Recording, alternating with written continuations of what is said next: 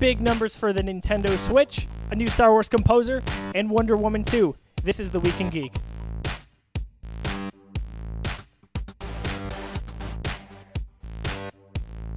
What's up, everybody? Josiah LeRoy reporting for thegeekiverse.com. These are the top items making headlines for the week of July 28th. The Nintendo Switch has sold 4.7 million units. In Nintendo's latest earnings results, the company also confirmed that Mario Kart 8 Deluxe has sold 3.5 million copies, while newly released ARMS has surpassed the 1 million unit mark. Splatoon 2 is undoubtedly this quarter's big name in Nintendo Switch title, while the following quarter will see the release of the highly anticipated Super Mario Odyssey, releasing October 27th. The Avengers 4 is about to begin filming. Co director Joe Russo confirmed at San Diego Comic Con that the follow up to next year's Avengers Infinity War will begin filming within two weeks.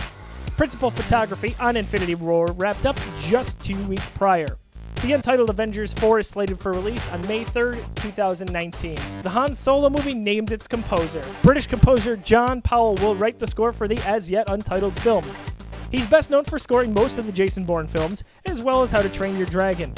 Last year's Rogue One, a Star Wars story, was the first Star Wars film not to feature John Williams, as he is wrapping up his work on Star Wars The Last Jedi. Speaking of the Han Solo movie, it sounds like we might be getting more Darth Vader.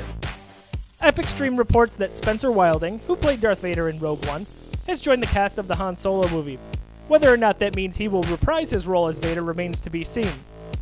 You know who I'm talking about, right? Spencer's that big blue guy in Guardians of Galaxy that stole Star Lord's awesome mix.